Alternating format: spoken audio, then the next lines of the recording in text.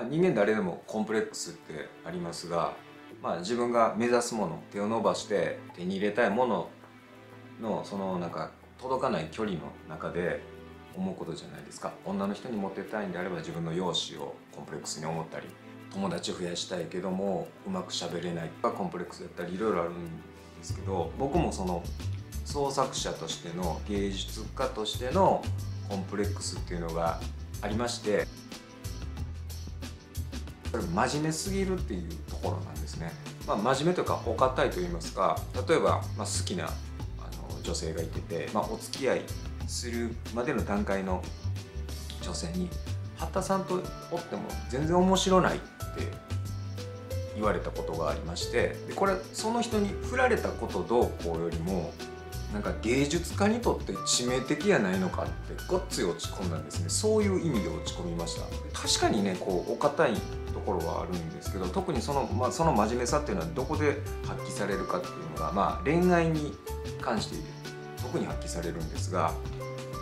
割と無茶苦茶なところもあるんですけど恋愛に関してはすごくこう生真面目さを超絶発揮しまして肉体関係を結ぶっていうのにあたって交際していない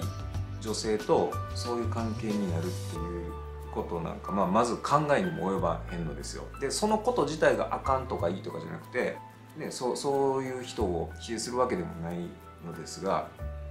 まあ、人によってはそそっち始まりであの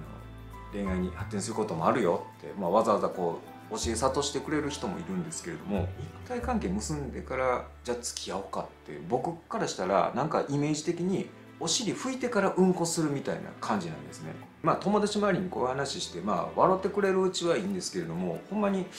この生真面目さってちょっとやっぱり打開したくなるというかコンプレックスだったんですね。で僕が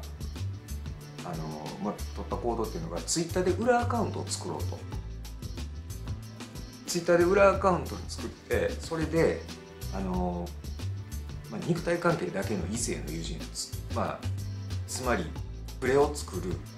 作ろうと思ったんですね。それなんでか言ったら僕の芸術家のイメージとして昼間は子供たちに絵を教え創作をするアートの喜びを伝える清廉潔白な絵画講師でありアーティストでも夜は別の顔を持って女を人間とも思わへん道具のように扱うプラチな冷徹な男破滅的な二面性みたいなこう光が闇の影を色濃くして闇の部分がさらに光を際立たせるみたいな。なんかそういう両極端な顔を持つことによってアーティストとしてもっとすごいなんか表現者になるんちゃうかなと、えそういうことを思ったんですね、まあ、そもそもそんなこと考える時点でほんまクソ真面目やなと思うんですけどあので裏垢作ってああいうアカウントってツイッターのアカウントってほんまになんかまあ人生もそうですけど自分の見ようと思う世界しか見えへんから、まあ、裏垢作ったら、まあ、その類の人の投稿男女問わず出てくるんですけどなんかそれ見てたらなんか怖っ怖いって思って怖いこの世界って思ってもうすぐやめました。すぐあの削除しました。で結局まあ本当にまっすぐで過激のできない当変木的なところがあってそれはコンプレックスだったんですけど面白みのないまっすぐすぎる人間でもうもうしゃあないわ思ってもうそれでいこうと思いました。結局なんかアホらしい。こんなことしたから言って別にええ作品作れるわけでもないしって思いましたね。生真面目コンプレックス、まあ、今も抱えてますけど生真面目であれば生真面目でしかできんような作品があるので、まあ、とくとご覧あれですよね。そんな急に変えられへん